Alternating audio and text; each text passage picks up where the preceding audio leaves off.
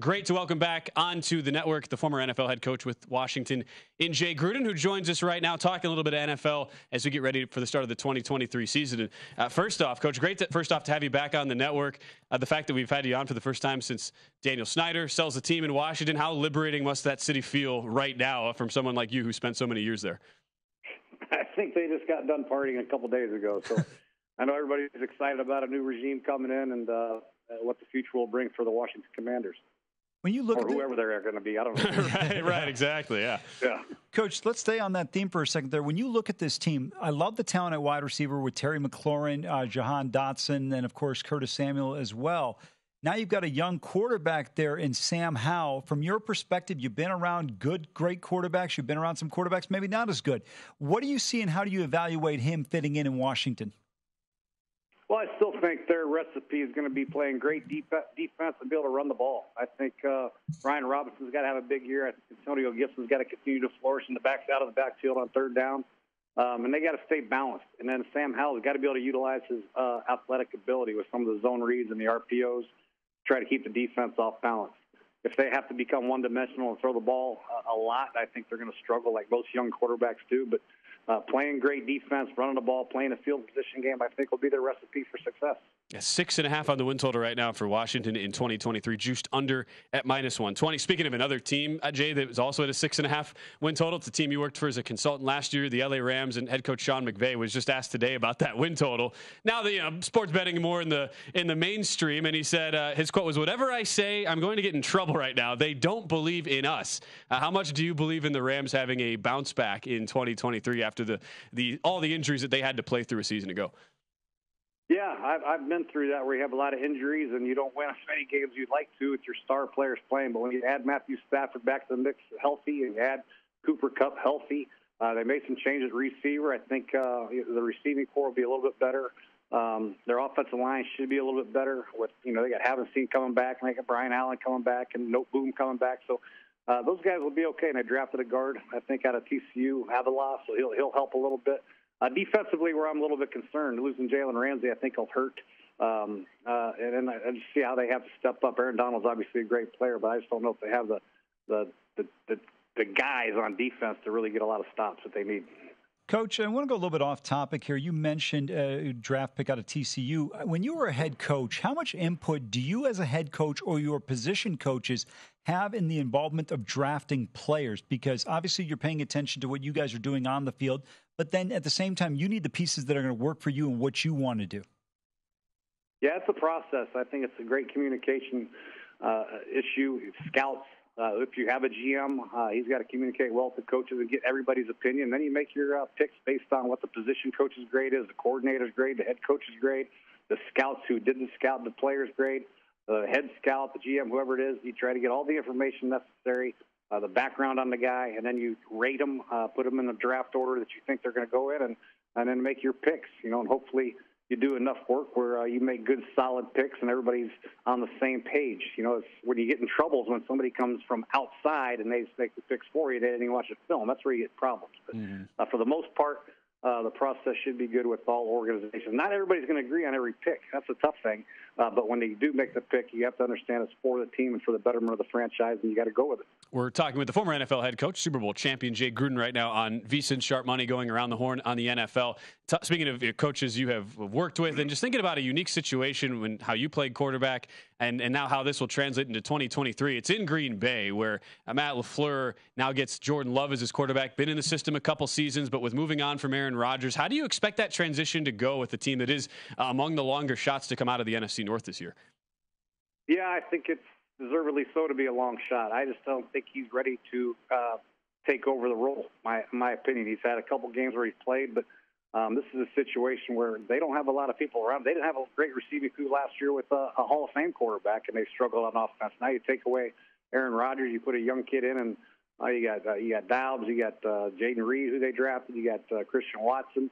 Uh, I don't think they're really going to scare the heck out of anybody. I think they're going to have to rely on, like I said, with Sam Howell, A.J. Dillon, and Aaron Jones. You know, they got to get them the ball and then you utilize Jordan Love's legs in some of the zone reads. I think the same recipe that Washington has to have with Sam Howell, I think Green Bay has to have. Play great defense, play the field position, utilize the athleticism of your quarterback and, and obviously uh, get the running backs the ball as often as you can.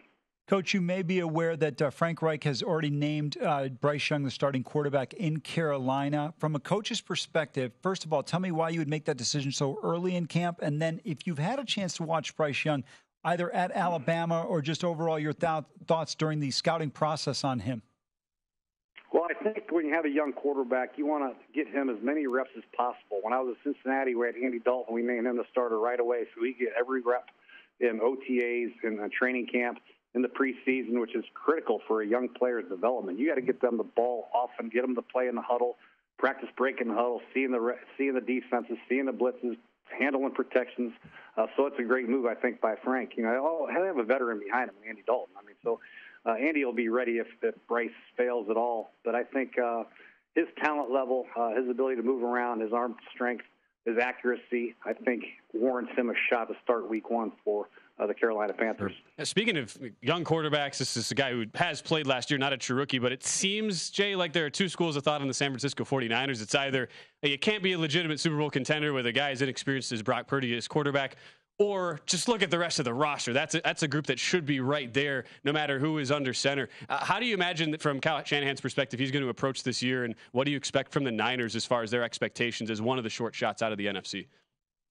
Yeah, I think they have to make a, a stand and, and make themselves a starting quarterback and get it announced. You know, they got Trey Lance and Sam Darnold and Brock Purdy. If you start splitting reps three ways, nobody's going to get enough reps to be as effective as they would be as if you name a starter. So if they name Purdy, great. Uh, continue to utilize Christian McCaffrey, George Kittle, obviously. Uh, run left. Run left as often as you can behind Trent Williams. How we let him get out of Washington, I have no idea. the best tackle I've ever seen or been around.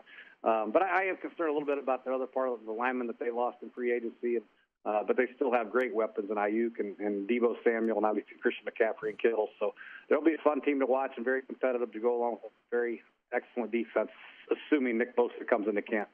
You mentioned Bosa. Obviously, he, he's a potential holdout there, but Hargrave comes over from Philadelphia. Quantify the loss for Philadelphia's defensive front and the addition for San Francisco and how beneficial it could potentially be.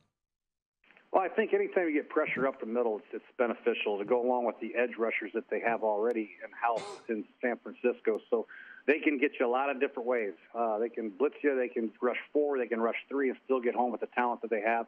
They can play coverage, they can play single high, they got the corners to play man. So defensively, I think it'll be fun uh, for the new defensive coordinator that, that they have um, because they have such great players.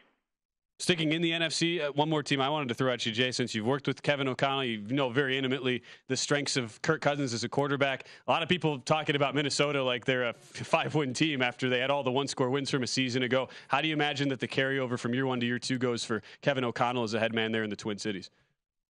I think the first year Kevin did a great job. They won a lot of close games. Uh, they got the ball bounced their way quite a bit, and uh, I think they gave up more points than they scored despite winning 10 or 11 games. So um, they're going to have to do a little bit better job on defense. They've made a change on defensive coordinator. They're going to be more aggressive.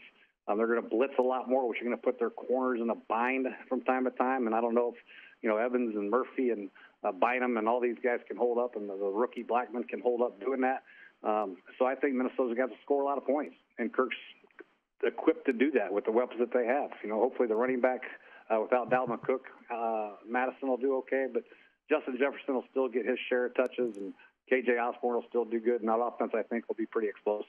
Coach, one final one for you. The Denver Broncos bring in Sean Payton, tremendous head coach, but Russell Wilson, some question marks surrounding can he still play? From your assessment, how good can he be, and what could this Denver team be this year? Well, my big concern is they brought in Nate Hackett last year, who coached Aaron Rodgers and has a pretty decent system. I mean, he got another offensive coordinator job with the Jets back with Aaron Rodgers, and, and they were abysmal on offense. I mean, it's not like the plays were all terrible. I wouldn't think. I mean, some of the plays had to be sound, uh, just Russell didn't perform very good. And I know some of the coaching decisions with clock management are one thing, but uh, his statistics and his ability to move the ball and throw the ball accurately and on time, I think, is in question. And I know that uh, Sean Payton has a great system. Um, they have very sound offensive plays, but so does Nathaniel Hackett, and they just didn't work. Uh, they have a decent receiving corps with Courtland Sutton and Jerry Jeudy, obviously, and Tim Patrick, but uh, they got to get the running game going, and, and Russell's not a spring chicken anymore, so his mobility's not quite what it used to be when he was at Seattle, and I think that's a major concern. Now, no doubt on that as we get ready for the start of the 2023 season. We can't thank you enough, uh, Jay, for the insights. Jay Gruden, former NFL head coach and Super Bowl champion, joining us right now on Sharp Money. Jay, thank you so much. I appreciate the time as always. You got it. Thank you guys for having me. Go to VSiN.com slash subscribe to become a vison pro subscriber today.